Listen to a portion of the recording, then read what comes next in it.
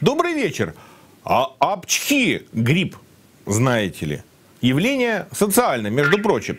В том смысле, что наше с вами сознание – включил эту проблему в свой оборот и пристально следит за ее развитием. Понимают ли это власти, официальные медики?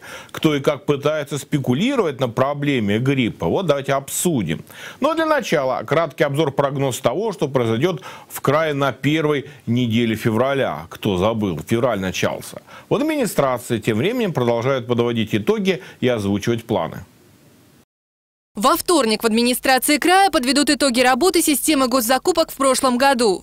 В среду будут подведены итоги газификации региона и озвучены планы по продолжению этого процесса. В воскресенье все-таки состоится празднование десятилетия футбольной школы Алексея Смертина, перенесенное с прошлой недели из-за эпидемии гриппа. Участие примет сам Смертин и его друзья-футболисты. Ну, а ну, конечно, школа школой, дело полезное, но ведь сам Алексей Смертин давно присматривается к политической карьере. Напомню, он уже был депутатом КЗС, но, правда, на этом посту особо ничем не запомнился. Так вот, поговаривают, что на выборах сентябрьских он снова будет в качестве кандидата. Но теперь уже бери выше в Государственную Думу. От какой партии? Да я вас умоляю, понятно, от какой? От «Единой России». Э, собственно, спортсмены в рядах единороссов и кандидатов в депутатов давно не редкость. Что ж, ясно. В условиях кризиса, а значит, возможных проблем с поддержкой населения, привлечение таких людей, которые для всех связаны с чем-то приятным, спортивной победы, а не сомнительным, политика, вот такие люди партии власти нужны. Да, что и говорить. Посмотрим, подтвердятся ли слухи. Пока главной теме. Официально карантин по гриппу и ОРВИ ввели в регионе 27 января. Причиной таких мер послужило превышение эпидемического порога заболеваемости ОРВИ на 47%. В крае было закрыто несколько школ и детских садов. Около 70% заболевших – дети до 14 лет. У двух, как минимум, пациентов, взрослых, к счастью, зафиксирован так называемый свиной грипп. Статистика меняется, ну, что называется, каждый час. Поэтому, возможно, данные устарели, но ясна тенденция. И, собственно, вот это определение свиной грипп народ ведь больше всего и пугает.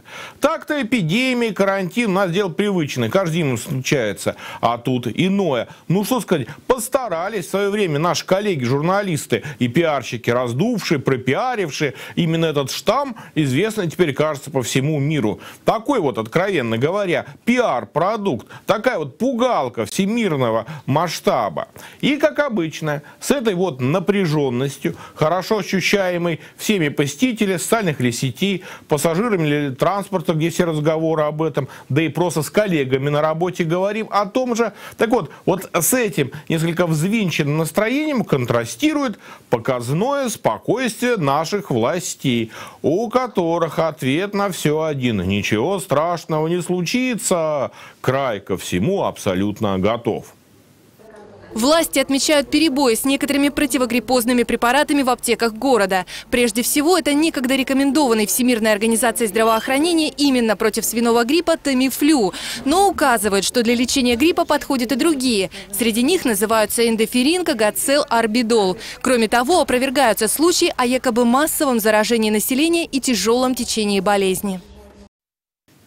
Собственно, я власти понимаю. Ну, не в части списка препаратов, среди которых, как минимум, орбидол публично подвергал сомнению его эффективность. И не в том, что, например, мало говорится о нехватке масок в аптеках и оксалиновой мази. Ладно, это не так важно. Паники нельзя допустить. Вот что. Но ведь нельзя впадать, друзья мои, в другую крайность. Когда наши чиновники делают вид, что все хорошо-хорошо, и даже если это именно так, народ автоматически становится очень мало им доверяет. Так вот, как пройти между сциллой ажиотажа и харибдой железобетонной э, уверенности, рождающей недоверие? Вопрос. Тем более, что на пиаровском штамме возрастают и другие пиаровские продукты. Кто-то этим пользуется. И здесь игра идет совсем без правил. Так вот, внимание, осторожно, фальшивка будет. По социальным сетям и другим каналам коммуникации края распространяется звуковой файл, в котором не называющая себя женщина рассказывает, что власти замалчивают ситуацию, что в их больнице уже зафиксировано несколько летальных исходов.